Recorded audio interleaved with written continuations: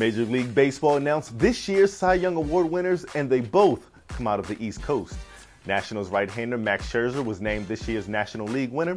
Scherzer won it in somewhat of a landslide, beating out World Series winners Jon Lester and Kyle Hendricks.